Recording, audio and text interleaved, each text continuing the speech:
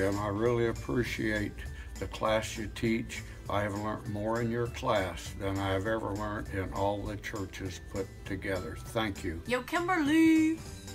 I'm so thankful that God put you in my life. You're an amazing leader and a great friend. Love you. Thank you, Kimberly, for opening your house to us. Thank you for an awesome life group. Thank you for ministering to us. We love you. We love you. Uh, thank you, Tom, for leading in a prayer group. Uh, you've been a real inspiration to me, and I've learned a lot. Todd and Jennifer, thank you for opening up your home to us. It means a lot to us. It's actually given us a chance to say we do have a family here, uh, not just at our church, but with inside your home. Thank you, and we love you. Hey, Melody. We just wanted to tell you how much we appreciate you and all your hard work and how you brought us all together for this fun time together. Thank you so much. We love you so much. Thank you for all that you do. Hi, Ashley. We love you. We thank you for everything that you do with this group. Um, you help build friendships. You help build relationships with people in the community. We get to do a lot of good, and we're just so thankful that you've chosen to be a leader of this group. Michelle is the most awesome encourager. It's like like God totally puts her in your life. Michelle is always good for some laughs. She is so kind-hearted. She's wonderful to be around. Thank you. Michelle is one of the most caring people I know. No matter what, she always knows what to say.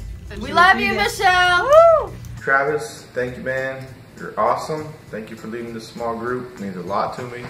I'm just grateful that you're leading it and uh, that you invited me to it in the first place. So, thank you so much.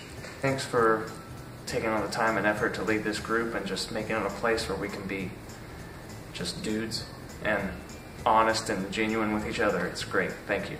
John, just want to say thank you for for bringing me in and really showing me what Christianity was all about.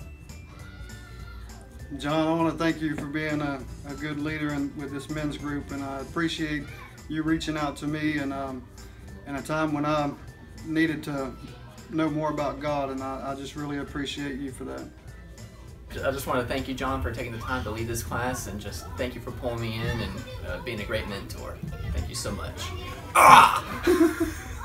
we enjoy going to Gene Davis's class. He's always made us feel welcome. We can be just regular people, not trying to be something fancy, and just enjoying each other, enjoying our time together.